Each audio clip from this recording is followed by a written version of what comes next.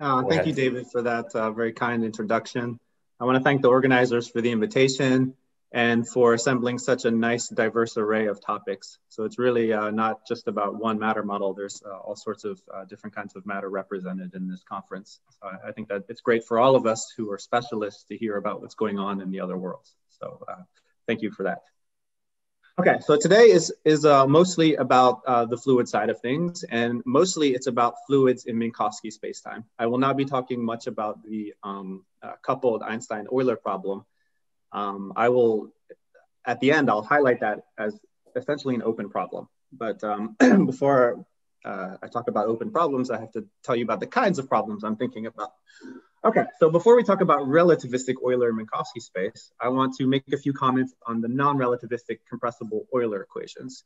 So there have been some uh, uh, recent results on uh, low regularity local low posedness so uh, this is a joint work I did with some collaborators. And then uh, later, or not much later, uh, Qian Wang actually sharpened what we did. And I'll, I'll say more about that in a bit. And there's also been um, some very results on shock waves, formation of shock waves starting from smooth initial conditions. Um, so this is uh, in the non-relativistic case, this is uh, work I did with Jonathan Luk a few years back. And uh, what made the work novel compared to Christodoulou's breakthrough was we were able to understand vorticity, the presence of vorticity uh, in the context of shock formation. And there's also a different approach that's uh, much more recent to understanding uh, the formation of shocks with um, vorticity and entropy.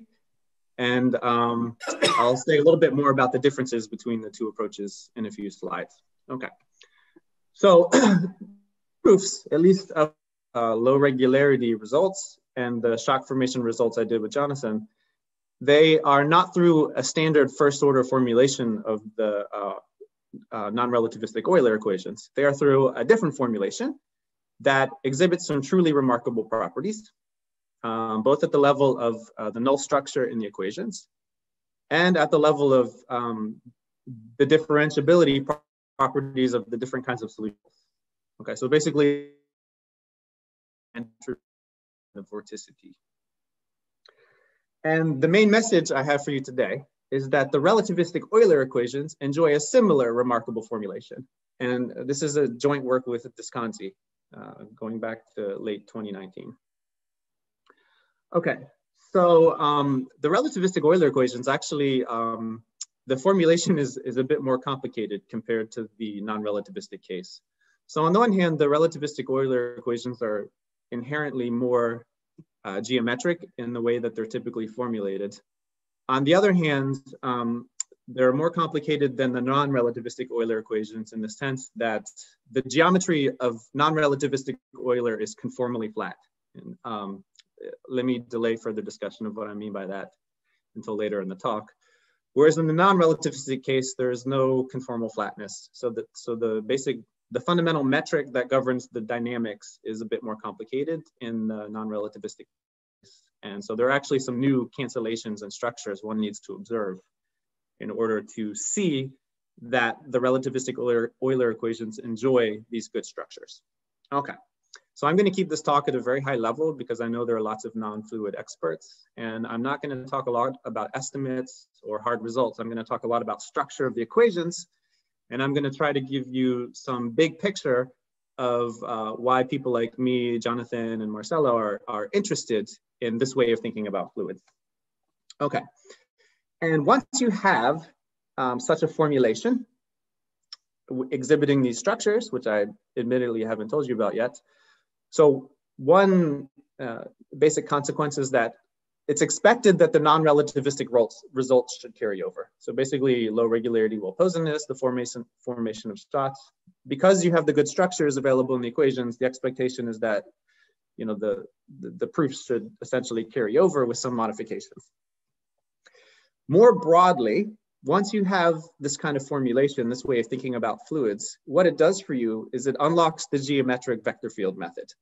So historically, the, the geometric uh, vector field method for fluids has most successfully been applied in the irrotational case when everything reduces to the study of a wave equation. Whereas when, once you have vorticity and entropy present, there's a coupling between the wave phenomena and the transport phenomena.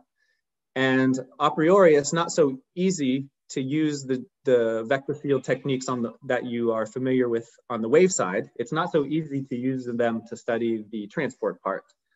But thanks to the new formulation, in fact, you can use basically all of the techniques that were developed in the context of wave equations. You basically can use those techniques to study the full Euler system featuring both wave and transport phenomena.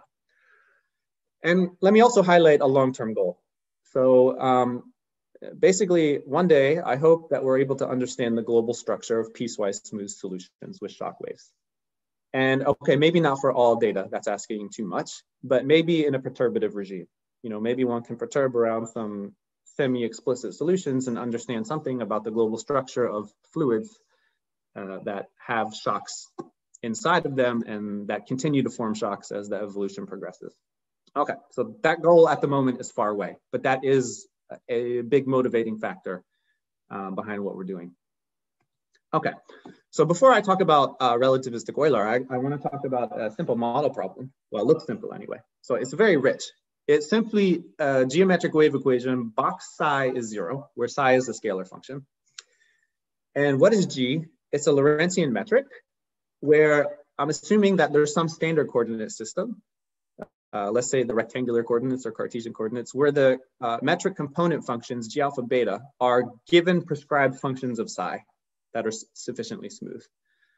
So um, as we'll see in a little bit, um, uh, relativistic Euler has something to do with this kind of equation. Okay, and here I want to emphasize for those of you who don't work in geometric wave equations that box means covariant box. So if you write it out in your favorite coordinate system, it looks like this. Okay, so you know it's it's a divergence uh, up to this factor. It's a divergence form wave operator. Out that the divergence form structure is really important. Okay, really important. Now, what happens if you differentiate out this expression? You let, for example, you let the alpha, the d alpha derivative fall on g inverse. Then accept uh, except in the case of some uh, miracle assumptions on the metric G itself, it's, it's uh, if you make some miraculous assumptions on the G alpha beta components, then this expression might have good structure. But generally, when you differentiate it out, it will lack good null structure. So basically when d alpha falls on G inverse, you'll get like a d psi times d psi term. And that term has no good structure. Uh, for example, in the case of irrotational fluid mechanics, that term has no good structure. And as a consequence, it turns out that uh, singularities can form in the solutions, even when the initial conditions are small and smooth. So in particular, uh, shocks can form. Okay, and let me not at the moment give a full description of what I mean by shock, but the, let me instead give a very crude description by shock. What I mean by shock is that the derivatives of psi can blow up, where psi itself remains bounded. Okay, so it's a, on the scale of singularities, it's relatively mild. Okay. So let me talk about some results for the model problem before I jump into uh, uh, what's going on in uh, relativistic fluids. So there was a big breakthrough by Christodoulou in 2007. This was his proof of uh, shock formation for uh, in the small data regime for irrotational compressible fluids. And actually in his first book, he treated the case of relativistic Euler for essentially every equation of state except one that corresponds to the um, uh, to the uh, minimal time uh, to the minimal surface equation, Lorentzian geometry. And um, his proof basically relied on showing that the relativistic Euler equations can be treated just like this model problem. So when the data are irrotational, Christodoulou's proof was basically, you know, study of this kind of model equation for the specific wave equations that come from irrotational fluid mechanics. Okay, so then I was a PhD student. I was uh, very inspired by this uh, thousand page book. And I was interested in to what extent did it depend on uh, the structure of uh, the equations of fluid mechanics. And it turns out that it essentially doesn't depend on the structure of the equations of fluid mechanics. So, so I wrote a book And basically the content of the book is that uh, Christodoulou's blow-up results for the wave equations of irrotational fluid mechanics hold essentially for all model scalar wave equations, except for the one special one that satisfies something like a null condition. And there's been a lot of uh, work uh, in the wake of Christodoulou's um, breakthrough. Um, uh, Miao and Yu have investigated other kinds of wave equations and other solution regimes. And um, I've take, taken a look at other uh, kinds of solution regimes. By other regimes, I mean other kinds of initial data that are not strictly speaking uh, small. So for example, in this work with uh, Luk, and Wong, we looked at perturbations of plane symmetric solutions, where plane symmetric solutions have infinite energy if you interpret them as solutions in the, uh, full, the full space-time. Okay, so not only was Christodoulou's result itself important, but sort of the ideas he introduced were completely uh, fundamental and they keep bearing fruit over and over. Okay, and let me uh, switch gears for one second and talk about uh, local well-posedness results for the model equation. So this is in, if you want, three spaces. Below the classical uh, threshold five halves plus, where uh, local well-posedness uh, is easily established by Sobolev embedding and energy estimates. So to go below this threshold, you need something different. And there have been a lot of results on uh, going below this exponent. Um, certainly among the earliest important results were the Klainerman-Rodnianski results on H2 plus epsilon local well-posedness for the Einstein vacuum equations, which are, um, you know, at their core, for purposes of local well-posedness, they're not that different than the model of problem. They're, the, you know, Einstein vacuum is not that different than the, for purposes of local well-posedness. And um, Smith-Tataru uh, proved the same result for general quasi-linear wave equations, not going beyond Einstein vacuum. And then there's a um, important result of Qian Wang, Um, and she ha had a different uh, proof of the Smith-Tataru result, which is a lot more geometric and it's a, it's a lot more flexible. Okay, it is, it's in the spirit of how people working in relativity uh, think about waves. Okay, so here are two classes of results for the well, there's actually a strong unifying theme between the two uh, kinds of works both of these works fundamentally rely on the construction of eikonal functions. So in relativity, this is called optical function, but in, uh, you know, more broadly, we call it eikonal function. And again, both, both of these kinds of results fundamentally rely on nonlinear geometric optics by virtue of constructing uh, an eikonal function. And so here I want to emphasize that this eikonal function u, where the coefficients couple back to the, the actual PDE that you care about. So in the case of fluids, you know, this metric G depends on the fluid. And so obviously there's a coupling between the fluid and the um, eikonal function through the principal coefficients. And, um, you know, it's been understood since the Christodoulou-Klainerman proof of stability Minkowski spacetime that it's a very good idea to study wave equations uh, through foliations that are to an iconal function. And uh, now we understand that it's a good idea to do this more generally uh, wave equations. And now we understand that it's still a good idea to do this in uh, the context of uh, fluid mechanics with vorticity and entropy. Okay, so um, uh, a big message that I have for you is that the way I've been thinking about fluids with Jonathan Luk and Marcelo Disconzi enables you to sharply understand the behavior of eikonal functions in the context of fluid mechanics. Okay, so in a, later on in the talk, I'll try to make that a bit more explicit. Okay, so here's uh, another big idea for you. For some applications, okay, not all applications, but especially ones involving eikonal functions. It turns out that at least in some regimes that we understand, one can treat the relativistic Euler equations as perturbations of the model problem. Okay, really, you know, this model problem has a lot of the interesting dynamics hiding in it. And then um, the goal becomes to understand to what extent can you treat the rest of relativistic Euler as a perturbation of this model problem. Okay. So before I get into the nitty gritty of relativistic Euler, let me give you some schematic representation of uh, the wave part of relativistic Euler. So loosely speaking, what one is able to do is to split the relativistic Euler equations up into a wave part and a transport part. And later I'll talk about the transport part. Here I'm just talking about the wave part. Okay, so I'll tell you exactly what I mean by wave part later in the talk. So there's a wave part, psi, and it's it's not a scalar in the case of uh, relativistic Euler. It's a it's an array of solution variables. But in any case, it solves a covariant wave equation where there's a Lorentz metric G. It's called the acoustical metric. It's it's even if even if you're talking about fluids in Minkowski spacetime, it's important to appreciate that this acoustical metric is not the Minkowski metric. It's the metric of the fluid. Okay, it's, it's a quasi-linear metric depending on the fluid. And uh, if you have vorticity and entropy floating around in spacetime, then the right-hand side is no longer zero.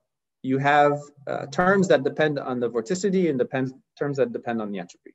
And it actually turns out that it depends on the the terms are of the form curl of the vorticity and the divergence of the gradient of the entropy. And so this is one derivative of the vorticity and two derivatives of the entropy. And actually there's a lot of structure in these terms that I'm not displaying right now. And it turns out that their precise structure matters for applications. So here I'm just being very schematic. And then there's another kind of term that you have on the right-hand side, which is uh, a bit more familiar, easier to handle. And these are G-null forms. What do I mean by that? I'll tell you in one second.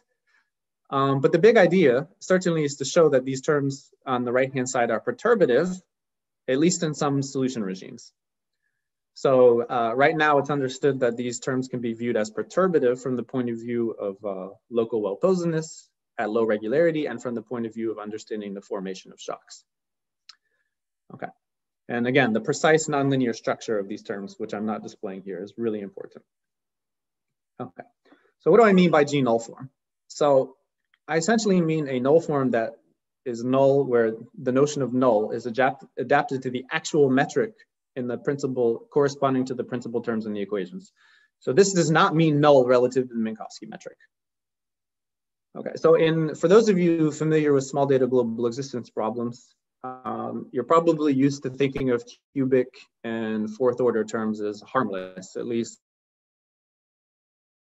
um, it turns out that in the study of shock waves, you cannot think that way. You cannot Taylor expand. You cannot um, uh, you cannot throw away cubic terms because cubic terms, you know, if, if, the cubic term is blowing up, then even if it's cubically small initially, you know, later when the singularity forms, it might be the dominant term. Okay, so that means when you're doing decompositions, when you're looking for good structures, it has to be adapted exactly with no margin of error whatsoever to the actual geometry of the problem. Okay, exactly to the geometry of the problem. So for example, by G null form, I might mean a quadratic term that looks like this. And um, now what about these, uh, these curl of vorticity and double derivative of entropy terms? Well, as I'll show you in the coming slides, there's the potential for derivative loss tied to these two terms. If you formally count derivatives, it sort of looks very problematic that you're putting these terms on the right-hand side. Um, nonetheless, it's possible to gain one derivative compared to standard estimates on both of these terms. And that essentially enables you to put them on the right-hand side and think of them as source terms that drive the evolution of waves.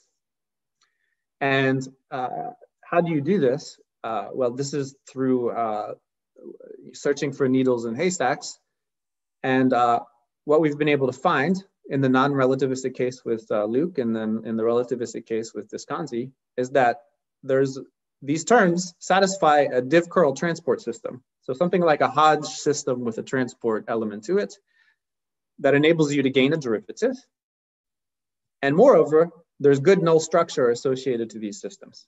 So basically everything good happens. You gain a derivative, enabling you to put these um, terms on the right-hand side of the wave equation, and uh, you see good, good null structure, not only in the wave equations, but in these div curl transport systems. So in basically every good miracle you could hope for happens. Now, I don't have a great philosophical reason for why this uh, should be true. You know, when, we, when I was first working on these things with Jonathan, we were just looking, right?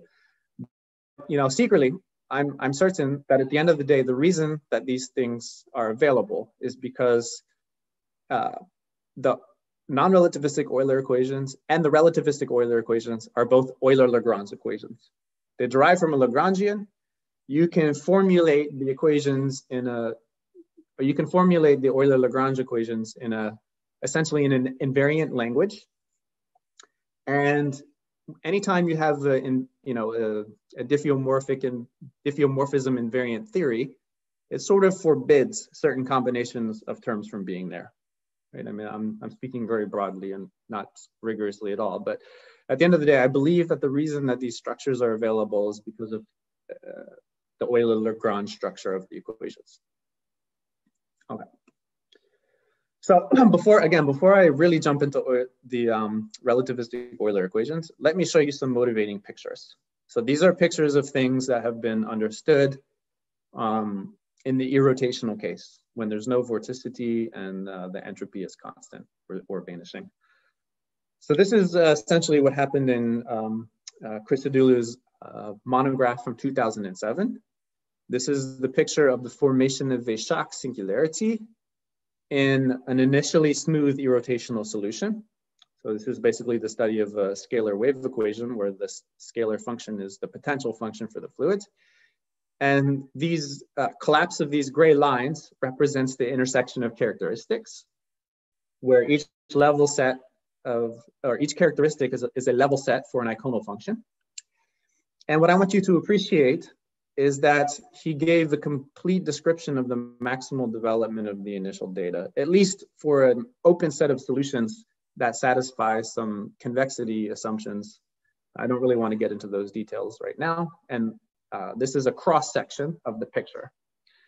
So this, this tip down here, for example, represents something like a first singularity. You know, in reality, it's not a point. If you expand this picture, it ends up being something like a uh, or at least in the non-degenerate case, this tip ends up being something like a codimension two submanifold of spacetime.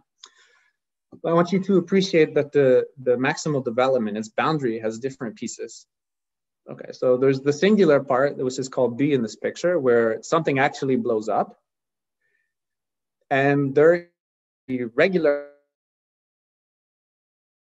these uh, singular points down here, or singular submanifolds, where the solution remains regular, no formation of any singularity. There's no formation of singularity along the Cauchy horizon except down here at the tip. Okay, and this is the largest possible uh, space-time region where the solution is, where the classical solution is uniquely determined. So this was the picture in the irrotational case. And the techniques that I've been developing with uh, with Jonathan and Marcelo are towards, we haven't quite achieved this yet, but they're towards um, uh, establishing this picture in the presence of vorticity and entropy. So I also want to highlight that the, um, the first person, essentially the first person to understand the behavior of the solution up to the first singular point was uh, Alinhac. So in, in, the late 1990s, he had some really important results uh, on uh, blow up for wave equation, quasi-linear wave equations. And it actually included as a special case irrotational fluid mechanics. And it started, his results didn't give this uh, full picture here, but they did enable him to understand the behavior of the solution up to the first singularity. Okay. And uh, moreover, so this is where the, the results of uh, Buckmaster, Shkoller, and Vicol that I mentioned earlier, those results also allow you to understand the behavior of the solution up to, up to the first singularity whenever it's isolated. And um, uh, of course, the difference between the Alinhac work and the Buckmaster et al. work is the, that the latter allowed for vorticity and entropy. Okay, but really, uh, I, you, if you really want to understand the global behavior of a fluid, um, you want to understand this picture and how it emerges. Okay, and I'll clarify why that is on the next slide. Okay, so here's a more, uh, it's, okay, it's a cruder drawing, but it's, it's, it's showing you the, um, the, the, a bit better the geometry. So this is the same picture, except I've expanded the singular point into a, you know, a, a submanifold, like I told you it is, at least, you know, under certain gen genericity assumptions on the initial data. Um, you know, this is the picture. And there's a new there's a new ingredient in this picture. This is the shock hypersurface. So let me talk a little bit more about this picture. Okay, so this is the same Cauchy horizon from uh, before that emanates from this first, uh, let me call it a first singularity. This is the past boundary of B. This is this ends up being a space-like submanifold where the notion of space-like is measured uh, relative to the actual metric in the problem, the, you know, the, the Lorentzian metric G, uh, not the Minkowski metric. And this B is the same singular boundary from the where uh, blow up occurs in the maximal de smooth development of the data. Okay, but something funny happens in fluid mechanics. Something really funny happens. Um, if you impose the weak formulation of, uh, of the flow, so what do I mean by weak formulation? Let me just say that uh, you can think of the fluid equations as divergence. You can formulate them as first order divergence form equations. And then essentially it's the usual notion of weak solution where you integrate by parts and put the derivative on a test function. Okay. If you think of the, um, uh, the fluid equations in their weak form, then down here in the smooth, smooth regime, the notion of weak solution and classical solution completely coincide. They're, okay, of course, this is something that you want out of your theory. However, as soon as the first singularity develops, as represented in this picture by this uh, red line, this past boundary of B, as soon as the first singularity develops, if you impose the weak formulation of the flow in a vicinity of this red line, it actually introduces a new speed in the problem and the speed is supersonic. You know, it's it's it's faster than you know it's uh, faster than the speed of sound. It's basically you want to think of it as space-like. And uh, so this this hypersurface K is called the shock hypersurface. And at the end of the day, if you can make this picture rigorous, it is the it is the surface across which the fluid will jump. So, so, so there will be a jump in the uh, density and velocity across this uh, hypersurface. If you can, if you can, uh, in fact, rigorously construct the weak solution, you will see a jump. Okay, and you notice that this shock hypersurface sticks out into the maximal classical development. So uh, what happens is, or at least I can tell you what happens in the, well, let's, I'll call it loosely the irrotational case, but really it's uh, should be thought of as slightly. So what I'm talking about is Christodoulou's uh, more recent work from 2019 in which he sol solved the restricted shock development problem. So in, in that monograph, he made this picture rigorous for the compressible Euler equations, both relativistic and non-relativistic, except he chose to ignore the jump in entropy and vorticity across the shock hypersurface. So essentially the, the laws of ther thermodynamics uh, sort of force you to consider solutions where the entropy should jump to across, jump to the in the positive direction as you head across the surface. And uh, Christodoulou forced those jumps to be equal to zero. He set them, he manually put them equal to zero, and so this, and he looked at a weak formulation of the equations where he forced those things to be zero. And it turns out that that formulation of the equations does not exactly coincide with the usual weak notion of a, a, solution to the Euler equations. So he actually solved, if you want, he, he made this picture precise for a slightly different system of equations that is meant to emulate what happens uh, in the case of the Euler equations with no vorticity and no entropy. Okay. Jared, Jared, yes. can, yes. can I just ask to, to clarify? Yeah. So, so yeah, please. The, yeah. the hypersurface B is, is, is space-like with respect to the acoustical metric. That's that's in, right. In the relativistic case, it is it is time-like with respect to the Minkowski metric. Um, it should be. Uh, let's see. So let me think about that. So I, I I'm I have to think for one second. It should be. So okay. So let me maybe it's. I'll clarify like this. So there's a there's a wicked degeneracy that occurs in this problem. And um, so down here at the red line, everything is null. With the so th this this yellow hypersurface K is null with respect to the acoustical metric, And it's also tangent to the uh, singular boundary B, which is uh, which is null. Down here, it's null, and then it quickly turns space-like. So that means it would be time. I think it would be time-like with respect to the uh, Minkowski metric, because the the fluid sound cones sit inside of the Minkowski light cones. So there's no superluminal uh, propagation. That's right. There's no superluminal. That's right. That's right. No superluminal. It's and this is true also in in let's say, so in the solutions that uh, Christodoulou constructs, which okay are not solutions of the actual Euler incorporating the laws of thermodynamics, but they're solutions of whatever they are. This, this is also this is again the case that you do not have superluminal yeah, so it's a, it's sort of like a fundamental equation invariant feature of the problem that at the first singularity, the uh, the, the the the the both of these surfaces will be null with respect to true geometry of the problem. Yeah. Yeah. Okay, thanks. Sure, my pleasure. Okay, so yeah, so um, wicked degeneracy where this uh, shock hypersurface that one wants to construct is null with respect to the acoustical metric down here along the red line. And the same is true of the singular boundary, it's null.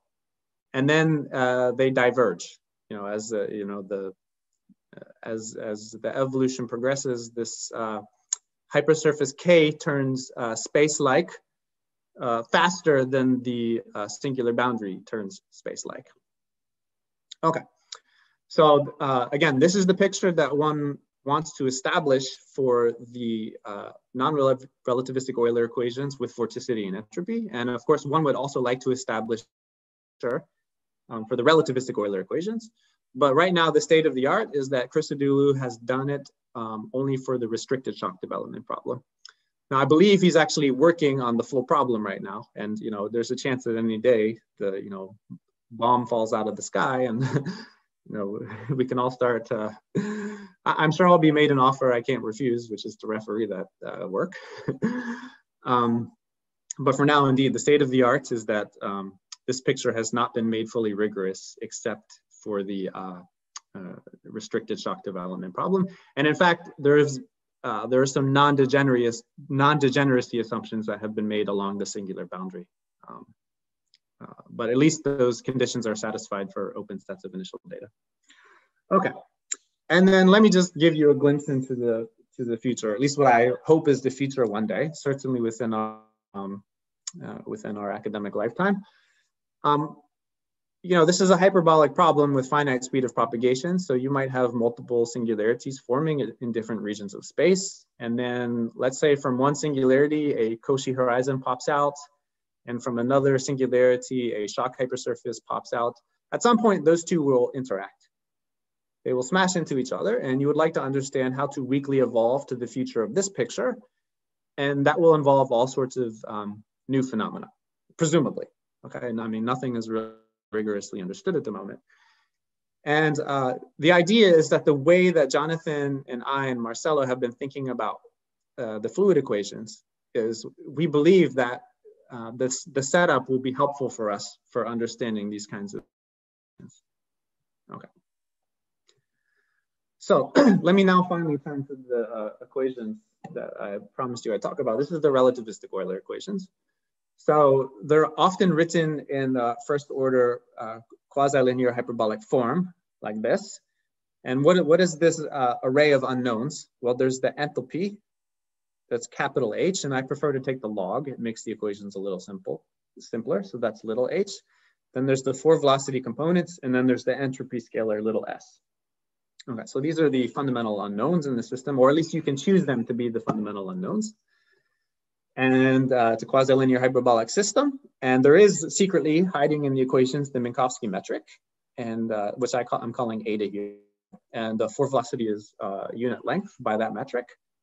And to close the equations, you need an equation of state. So, you know, secretly the pressure appears in the problem. And um, one way to close the system is to prescribe the pressure as a function of the density and uh, the entropy. Okay, do that.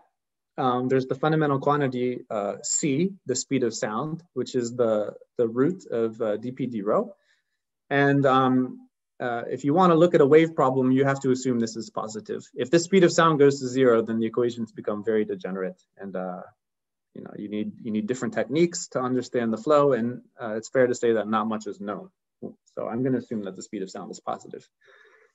And there are two propagation phenomena in, in uh, Euler flow. There's sound waves and, and the transporting of vorticity and entropy. And if it's not clear from this formulation how the two things interact or emerge. You can't see their coupling. And um, I do want to point out that the variable S is, uh, is uh, crucial for studying um, solutions with shocks. Let me just give you one example of what I mean by that. Um, what is expected, or I mean, what, what the laws of thermodynamics dictate is that even if the entropy is initially everywhere zero and the solution begins, uh, start rotational, then after the shock, the entropy will jump to the future and the solution will develop. So basically, if you really want to understand the full picture of uh, solutions with shocks, you should include the entropy variable. Okay, so let me, uh, for those of you who are not uh, fluid people, let me quickly review some basics of relativistic fluid flow. So there's the four velocity, which is a, a Minkowski time-like vector field, future directed. And then here's the metric G.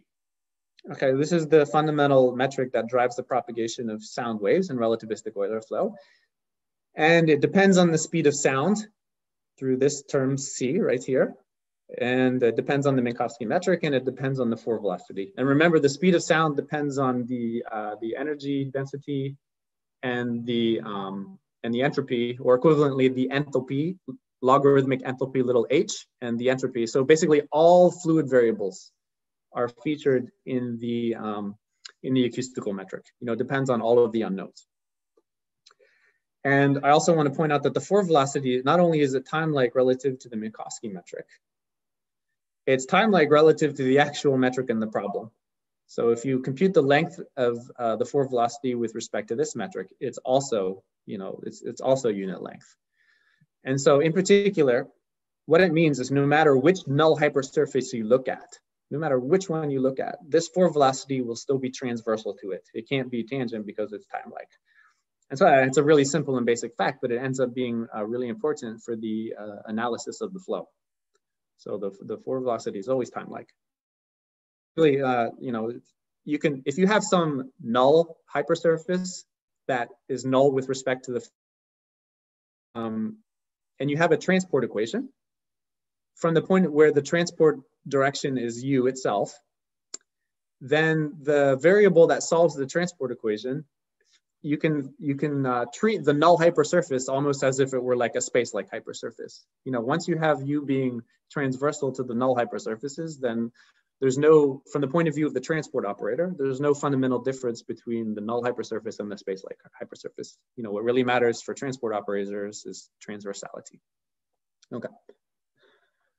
And so it turns out that to tell you about all of these structures, uh, I need to introduce more variables. Some of these variables that I'm going to introduce are very uh, standard. Okay. Um, so let me talk about the, if you're given some uh, one form big V, you can talk about its U orthogonal vorticity. So this is essentially like a vorticity operator, but if you contract against U itself, you get zero because of the anti-symmetry of the epsilon symbol and the fact that, you know, U is sitting in the second slot here. So this is a, a kind of vorticity. And then let me talk about the vorticity vector field itself, which is this uh, omega looking symbol. This is the vorticity as defined above of the uh, enthalpy current, where the enthalpy current is by definition the product of the four velocity and the enthalpy capital H. So, you know, it looks like this. And then finally, let me introduce the entropy gradient one form. It's convenient to, you know, take the gradient of the uh, little s and call it big S and to work with this variable. Okay, so these are all standard variables in the study of relativistic fluid flow. Now the next pair of variables I'm going to introduce are not so standard. So they have a couple of exciting properties. They, they exhibit improved regularity and they solve PDEs with good null structure, where null is uh, to be understood with respect to G. So here they are, they're a mess. I don't expect you to take away much from uh, this the from the details of these equations. Um, these variables, uh, Marcelo and I found them by basically playing with the equations and uh, looking for um, uh, combinations of terms that solve good PDEs. So how can you think about them? Well, C is kind of like the curl of the of the vorticity. So it's like a double curl. So it's like the curl of the curl with a bunch of lower order correction terms. And D is kind of like the divergence of the entropy gradient. So it's like, you can think of this as the Minkowski box of little s, plus some lower order terms. And again, I am not, I'm not familiar of any physical interpretation of these variables. I don't know of any, I've never seen them in any physics publication. We found them by playing with the equations. And um, these, uh, these variables, theta, theta is the temperature and n is the number density. In principle, given an equation of state, all of these um, quantities appearing on the screen are determined by the equation of state. So everything can be thought of as a function of h and s uh, at the end of the day. Okay.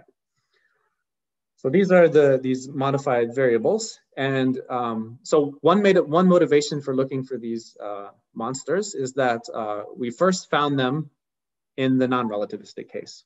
Okay, so I don't think I would have had the um, you know gusto to do these calculations in the relativistic case if I hadn't seen them uh, done in a simpler form in the non-relativistic case. Okay, and finally, let me again just emphasize what is a null form relative to G. Well, there's the famous anti-symmetric null forms, which actually have nothing to do with the uh, geometry, but then there's the uh, there's the other null form that does depend explicitly on, on the uh, acoustical metric. Okay, so this is what I mean by null form relative to G. And let me just highlight again that the purpose of the new formulation, which I'm going to show very soon, it, it simply allows you to apply the geometric techniques from mathematical relativity and nonlinear wave equations.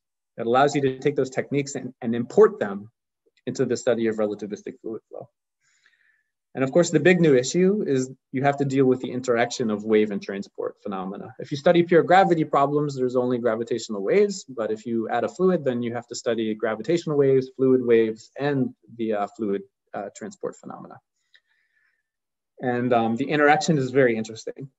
The interaction between the, even in just the pure fluid problem, the interaction between wave and transport phenomena is, is very rich. And I'll try to give you some indication of that in the next slide. One can say there are multiple characteristic speeds. So by this, I simply mean that there's the sound waves and the speed of sound, and then there's also the transport phenomena, which are, you know, it's transverse to the sound waves.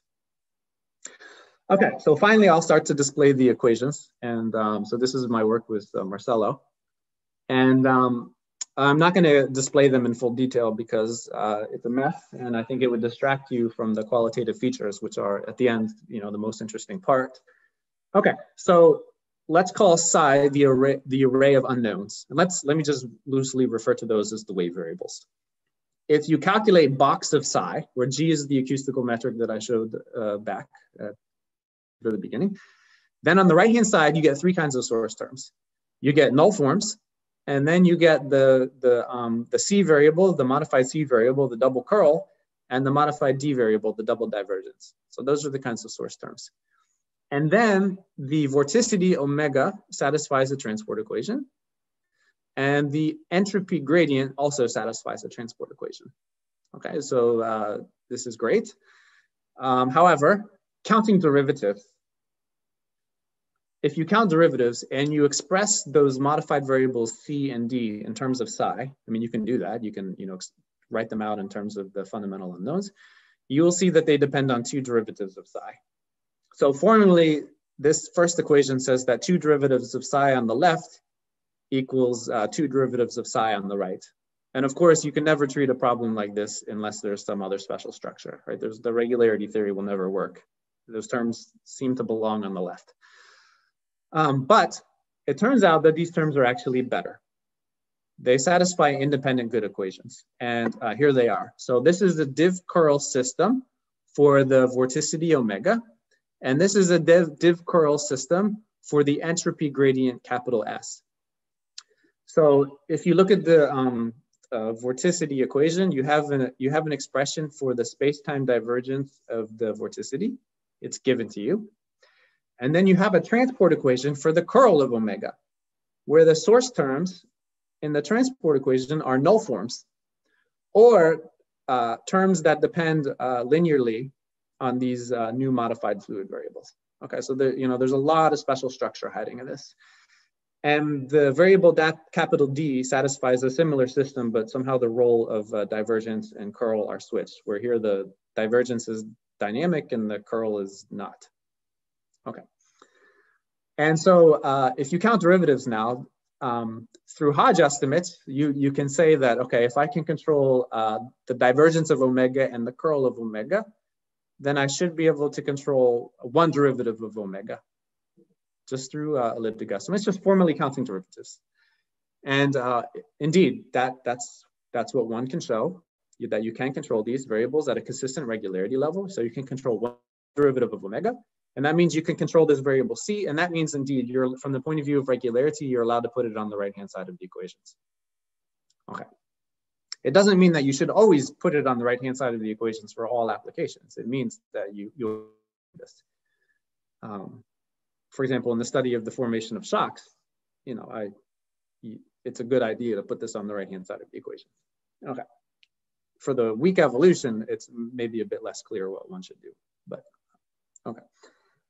Um, so let me say something about the, difference between um, uh, the non-relativistic case and the relativistic case. Just to highlight one way, one among several, in which the geometry is a bit more interesting in the um, relativistic case. Okay, so uh, one thing I want to highlight then is that these are space-time div curl transport systems. This is space-time. This is space-time divergence, and this is some kind of four-dimensional U orthogonal curl. But in applications, um, you you want to you want div curl estimates along space-like hypersurfaces. Let's say hypersurfaces of constant uh, Minkowski rectangular time. It's not enough to have space-time div curl systems. Um, you need div curl systems along space-like hypersurfaces, which you have in the non-relativistic case. If you look at the non-relativistic case, you don't have a space-time div curl transport system, you have a spatial div curl transport system. Um, okay, so that's a difference. So what can one do if one wants estimates on space-like hypersurfaces? Um, so what you can do is you can consider the transport equation for the vorticity and you can consider the fact that the contracting the vorticity against the four velocity gives you zero, but basically by definition of vorticity, it's orthogonal to the four velocity. And so if you take a derivative of this, this tells you that if you have one derivative of the vorticity and it's contracted against the four velocity, well, that's from the point of view of regularity, just as good as one derivative of the four velocity. Okay, so these simple observations allow you to take the uh, the, um, the gradient of the vorticity and decompose it into two kinds of pieces. The, the pieces that are in the direction of u in the sense of uh, differentiation or contraction and the uh, orthogonal parts, okay? And what that enables you to do is to excise the time-like part of the gradient of omega. You can cut it out. You can basically remove all the u components. And what remains is basically the it gives you a spatial div curl transport system. Okay, so this is, you know, if you want, one of the differences between the relativistic and the non-relativistic flow is that um, to get estimates on space like hypersurfaces, you always need to be factoring out the behavior of, you need to take into account the u direction in a way that you don't have to in the non-relativistic case. And you can do all of these things in such a way that preserves the good null structure. Okay, so, you know, it, indeed, it takes some effort to, to see these uh, decompositions, to see them at the level where you see the good null structure, but, um, you know, indeed, it, it can be done. Okay, and uh, similar, similar remarks hold for the entropy gradient. Here I was just talking about the vorticity, but you can do something similar for the entropy gradient. Okay. If you want, this is the basic uh, framework that enables you to control the fluid. Um, thinking of it as a wave transport div curl system. Okay, so I've already mentioned um, some potential applications that stem from this way of thinking about fluids. Uh, but let me just revisit them and highlight them in a little more detail. Um, certainly, I believe that it should be possible to understand stable shock formation without symmetry, uh, like Christodoulou did in the irrotational case, or like I did with Jonathan in the non-relativistic case structure will be very important there. There's no doubt. Um, uh, Uh, there's a PhD student at Vanderbilt who's looking at um, low regularity uh, sound waves for uh, uh relativistic Euler. This uh, low regularity well posedness. And uh, there some new ideas are needed because the div curl transport systems are no longer constant coefficient. They're variable coefficient. So you need some new analysis to handle that. But um, so that, that should be a doable problem. And for that, for the for local well posedness, you don't really need the null structure. Um, now, ideally, one would like to uh, solve the shock development problem for relativistic Euler. And uh, it, it's clear that one would need some new ideas beyond uh, what I've presented in terms of the structure of the equations. But um, it's certainly a problem that, you know, in principle, uh, there are some ideas that can be um, applied. And, uh, you know, like I said, you know, Christodoulou might solve this any day now. And certainly whatever the solution is, the null structure of the problem will be very important, very, very important. And I already highlighted earlier that one day we hope to understand the long-term dynamics of solutions with shocks. Okay, and this is completely open away from symmetry. There's uh, nothing. Okay, um, David, what's the situation with time? So I'm looking at the clock, it's 10 or Yeah, so we have uh, eight minutes, including the time for questions. Okay, so, um, so I'm gonna jump all the way to the looking forward part of the talk. Um, that way I can leave some time for questions. And um, so I, I, will highlight what has not been understood. One big issue, especially for this audience, of course, is uh, what happens with Einstein-Euler. You know, to what extent, if any, do the good structures that I've been talking about survive when you couple to the Einstein equations?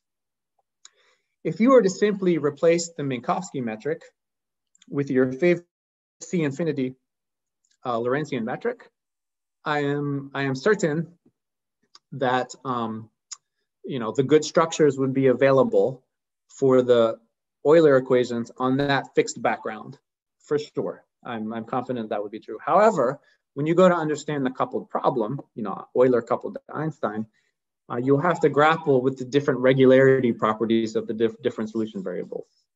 So for example, you know, is the metric sufficiently differentiable so that I can implement this uh, framework? Are there good null structures? Can I do estimates for the metric along fluid sound cones?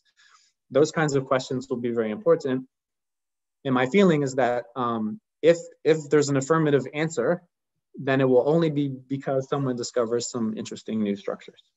And I, ha I haven't really worked on this problem. I haven't had time to work on this problem, so I don't really have any insights to offer on to what extent those structures will survive or not. But it's certainly an interesting open problem. I mean, at the end of the day, you want to understand shock waves in cosmology. And uh, so you'll have to grapple with this problem at some point. Okay, I should say, let me just say in passing that I, if, if it turned out that the, the speed of sound were superluminal, then there are techniques available that would enable you to understand uh, shock formation for the coupled problem. So it turns out it's a lot harder to understand the formation of a shock in a multi-speed problem when the, when the shock variable, if you want, corresponds to the slower speed, which is certainly the case for Einstein-Euler. You know, the, the fluid is, the, is uh, the slower of the two speeds, slower compared to gravity. And I've already highlighted this, but I'll say it again. You know, it's a big open problem. Understand the shock development problem. Locally solving past the, the first singularity for um, uh, relativistic Euler. Um, and again, understanding the long time behavior of solutions with shocks, at least in a perturbative regime. So this is a problem that I believe might be accessible in our academic lifetime. A uh, much harder problem is understanding the long time behavior of, of the of the vorticity you know, what, uh, you know, in some general sense, you know, already a very difficult problem in um, uh, incompressible fluid mechanics. And certainly the situation cannot be uh, any simpler in uh, the uh, compressible case.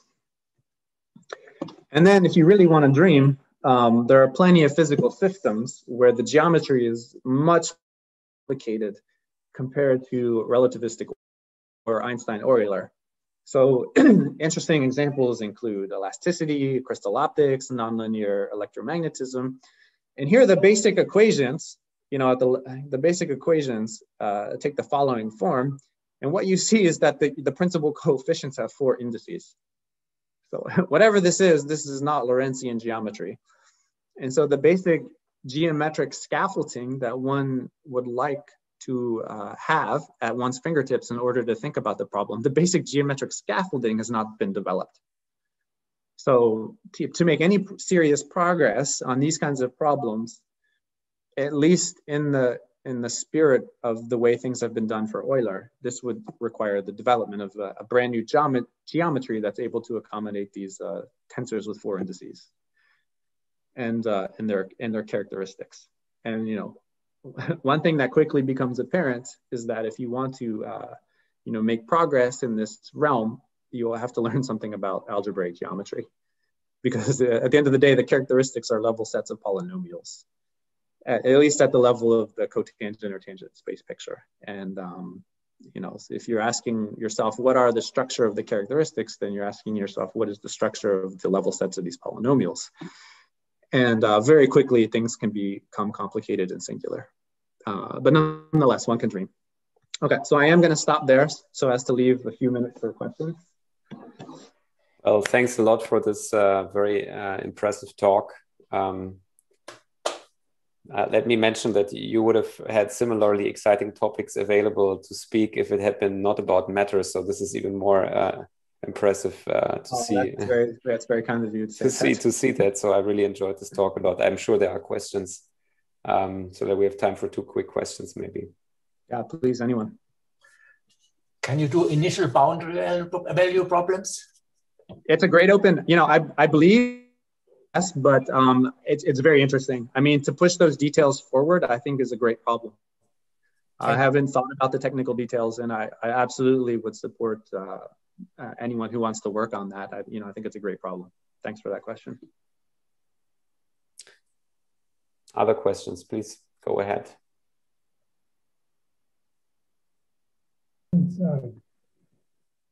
If you put all the second order terms on the, to the left, how do the characteristics change?